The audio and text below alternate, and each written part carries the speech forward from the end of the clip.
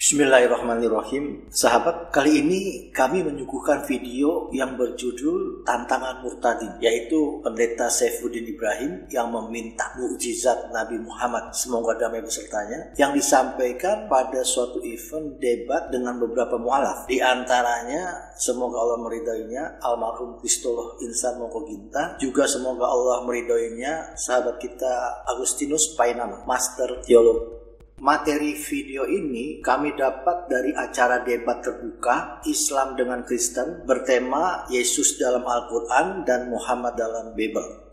Acara tersebut diselenggarakan di Gedung Sarinah lantai 14 dan yang Tamrin, Jakarta Pusat 12 Maret tahun 2013. Berikut fragmen video Murtadin Pendeta Saifuddin Ibrahim. Perhatikan pernyataannya. Kalau orang-orang Nasrani dan orang-orang Yahudi pada zaman itu meminta pertanyaan jawab kepada Rasulullah apa bukti engkau Nabi? Tunjukkan satu mujizat.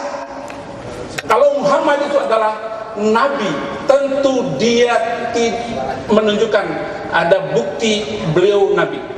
Tetapi tidak ada satu ayat Al-Quran pun yang menunjukkan Muhammad punya mujizat ada mujizat dalam Muhammad, dalam Al-Quran, saya masuk Islam lagi sekarang juga.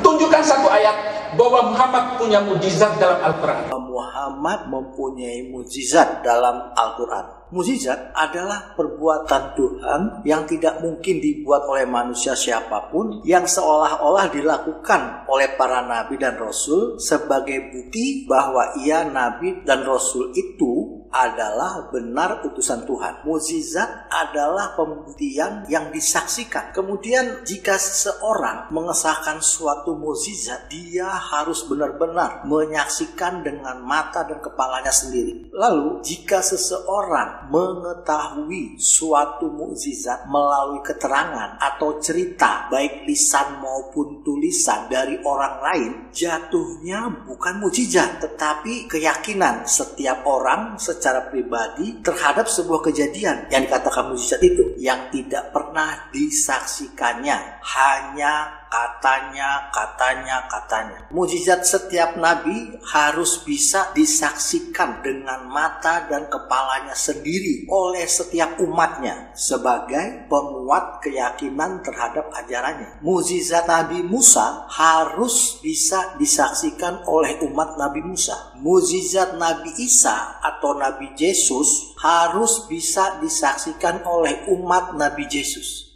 Akan tetapi, mukjizat Nabi Musa dan Nabi Yesus saat ini sudah menjadi dongeng, istilahnya tebeh-tebeh gekengeng, karena tidak disaksikan oleh siapa pun untuk manusia saat ini. Hanya tinggal menjadi sebuah keyakinan yang ada pada pribadi-pribadi yang mau meyakini. Jadi jangan berbangga-bangga dengan dongeng. Bagaimana dengan mujizat Nabi Muhammad? Semoga kedamaian atasnya Apakah ada? Bisakah seluruh umat Nabi Muhammad semoga damai atasnya menyaksikan akan mujizat tersebut? Jawabannya adalah pasti ada dan harus bisa disaksikan oleh mata dan kepala seluruh umatnya Kembali kepada pokok permasalahan. Kalau Murtadin, pendeta Saifuddin Ibrahim berbicara mengenai mukjizat, umpamaannya seperti pepatah bilang gajah di peluk mata tidak nampak, kuman di seberang lautan nampak. Sedangkan Nabi Muhammad, semoga damai atasnya, masih berlaku syariatnya hingga hari kiamat dan nampak di peluk mata akan mukjizatnya.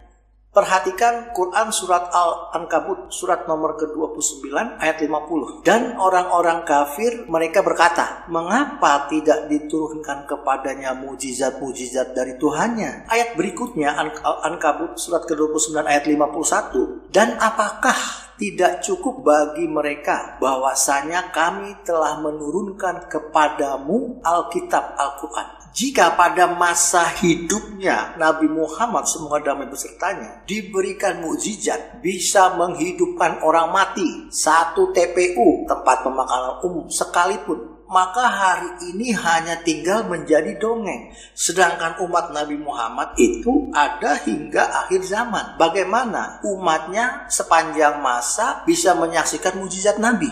Al-Quran adalah mujizat Nabi Muhammad. Semoga damai beserta untuk seluruh umatnya sepanjang zaman dapat menyaksikan dengan mata dan kepalanya sendiri juga tidak pernah akan menjadi dongeng. Al-Quran menceritakan ketika Nabi Musa, semoga damai bersertanya, menunjukkan mukjizat tongkatnya menjadi ular dan memakan seluruh ular-ular para ahli sihir, Fir'aun tetap keras kepala memandang mukjizat itu. Namun para ahli-ahli sihir tersungkur. Sambil bersujud mereka berkata, kami beriman kepada Tuhan semesta alam, Tuhannya Musa dan Harun, walaupun teracam penyaliban oleh Fir'aun.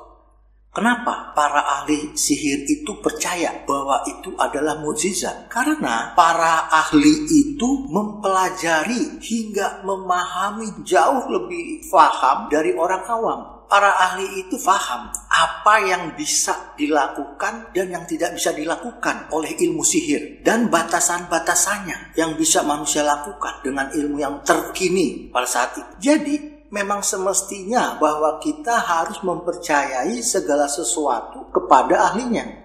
Hanya kesombongan dan kedunguan ketika seseorang awam merasa lebih mengetahui dari ahlinya.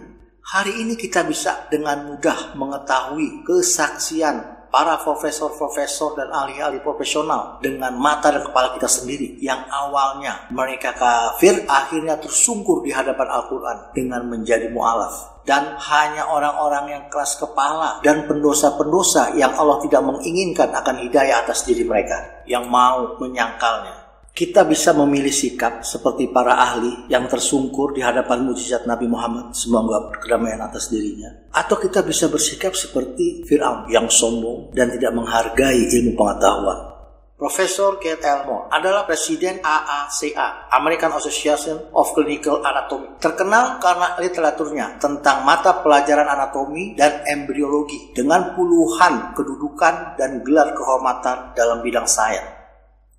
Kemudian Dr. Frank Press, seorang ahli geologi yang pernah menjadi presiden Akademi Sains di Amerika Serikat sebagai salah satu penulis buku Earth, kitab dasar jurusan geologi di perguruan tinggi. Kemudian Profesor Tejatan Tejasen, ketua jurusan anatomi di Chiang Mai, yang sebelumnya dekan Fakultas Kedokteran di Universitas Chiang Mai, Thailand. Kemudian Profesor Dr. Maurice Hujai, adalah seorang ilmuwan dari Prancis yang sangat terkemuka, seorang ahli bedah sebagai dokter ahli gastroenterologi, pernah menjadi dokter keluarga Raja Faisal Arab Saudi, bahkan keluarga Presiden Mesir. Kemudian Prof. Zeki Husto adalah perwira di Angkatan Laut Prancis, seorang oceanographer dan peneliti serta anggota Akademi Francis yang bertanggung jawab membuka mata manusia pada dunia bawah air. Kemudian Masaru Emoto, seorang peneliti dari Hado Institute di Tokyo, Jepang pada tahun 2003 yang melalui penelitiannya mengungkap suatu keanehan pada sifat air. Kemudian seorang profesor biologi Firulna oleh peraih penghargaan Woman of the Spirit tahun 2012 dari Universitas Santa Edward di Austin, Texas, Amerika Serikat. Banyak sekali para ahli yang menyaksikan mukjizat akan Al-Quran itu. Kalau dalam video sumber, almarhum Insan Moko Ginta, semoga Allah meridainya, mengatakan Al-Quran adalah mukjizat karena mudah dihafal.